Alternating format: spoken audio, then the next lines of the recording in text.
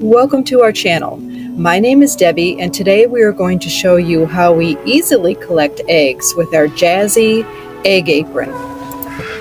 Egg aprons typically come with pockets. This apron has 12 pockets designed to securely hold and protect the eggs as you gather them.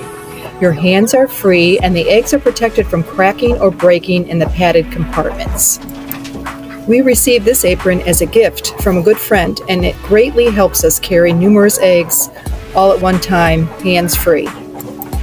We lift each hen or check our nesting boxes at least two to three times per day, then carefully place them in the pockets of the apron.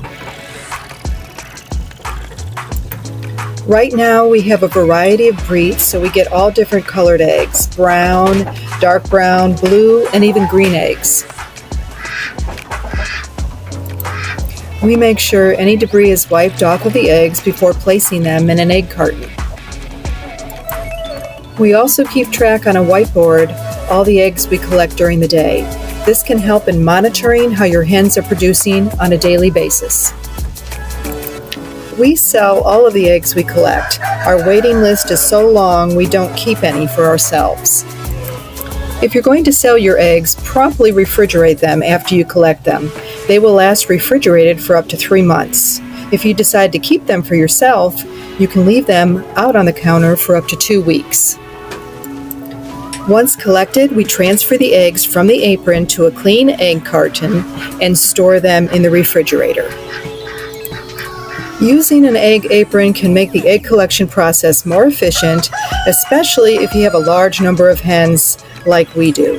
It keeps your hands free and prevents the need to carry a separate basket. It also helps protect the eggs during the transport from your coop to your storage area.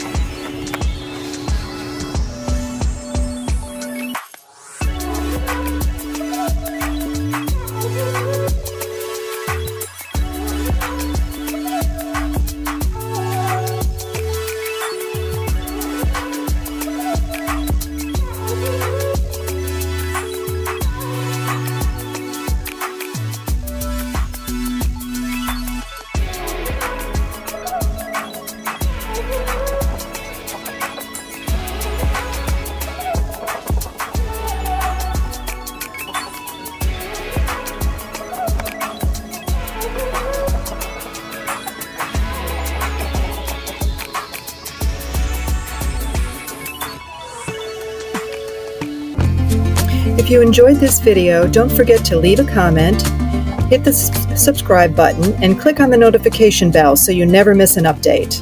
See you next time, and thanks for watching.